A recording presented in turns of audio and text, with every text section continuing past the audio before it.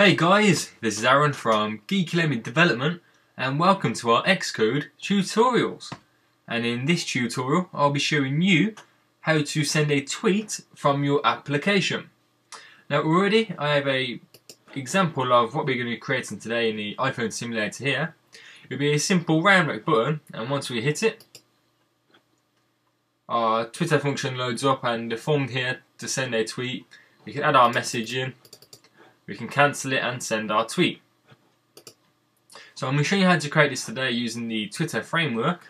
So already I have my project set up.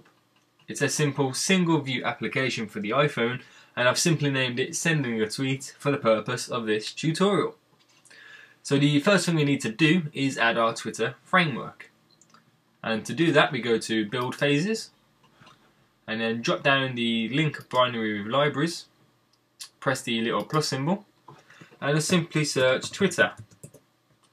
And you'll find the framework here so simply add that and you'll see it loaded to your project up here. So now once you've added the framework we can go ahead now and start doing all the code and the interface. So if we go to our viewcontroller.h and just under the import we do hash import and then we do twitter slash twitter dot h just to tell our classes that we'll be using the Twitter framework. And just after the UI view controller, do a open bracket and press enter. Now just under the second curly bracket at the bottom, we do dash bracket IB action bracket and simply name the button send a tweet very simple there. And then there with a semicolon. And then once you've done that, we can save that and then jump straight into our viewcontroller.m. And just after the at implementation view controller, press enter a few times there, only so you can see clearly what I'm typing out in the code. But we do dash bracket IB action bracket and we named it named it save send a tweet sorry we do space, curly bracket and press enter. Now we set up our button here, now we need to add the action to send a tweet. So what we do is TWT, all in capitals, tweet, compose a view controller, space, asterisk, and I'll give it a quick name of tweet, space, equals, space, bracket, bracket, and again, TWT, tweet compose view controller. And then we do space alloc. And then just after the first bracket we do space init. And after the second bracket we do a semicolon. And then hit enter.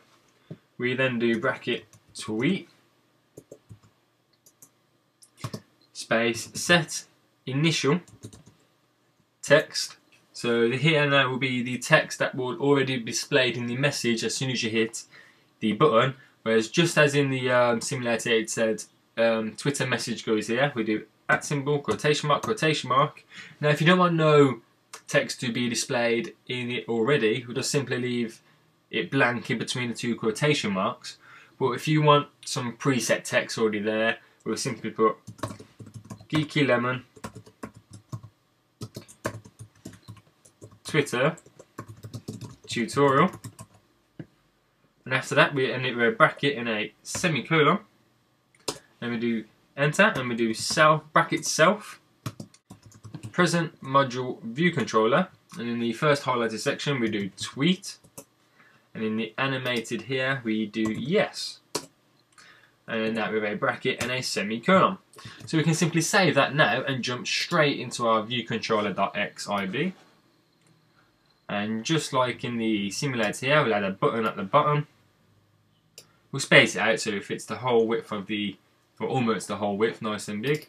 And we'll simply give the button some text, so send a tweet. Once we've done that, we click on our files owner, and then we link up our connection for our action. So it's send a tweet, drag it down to our button, and we can do something simple like touch down or touch up inside. We do touch up inside, so it gives you the option to drag your finger off if you don't want to send the tweet.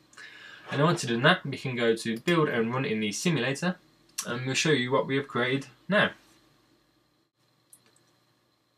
Okay then, so now once it's loaded up in the simulator, you can see we have our button at the bottom.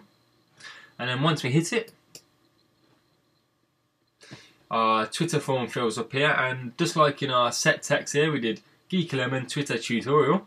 So we have the option to cancel it or we can go to send a tweet. We can even change the text here so we can put Geeky Lemon is creating the new tutorial. And if we press send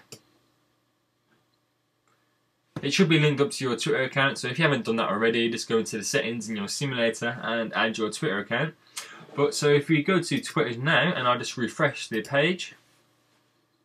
And there we go if you can see just here at the top Geek Lemon is creating the new tutorial.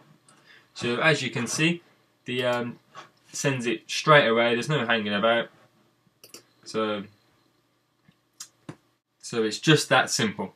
You can add this in your apps and projects to post or let your users post their like game score to Twitter or even any features in the app or just let them freely post and update their status all from your single app. So the possibilities with uh, sending tweets are really endless. So it's that simple to do and I hope this helps in any of your apps or projects at the moment. Make sure you go check out all our apps which are currently on the App Store. Just simply search Geeky Lemon or click in the links below. And make sure you go check out our website with all our tutorials and don't forget to like, favourite, subscribe and I'll see you all in the next tutorial.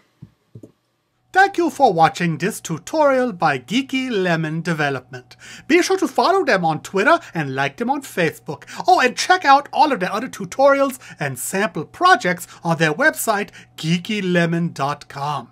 But most importantly, please download their awesome iPhone and iPad apps by searching Geeky Lemon on the App Store. And please remember to subscribe.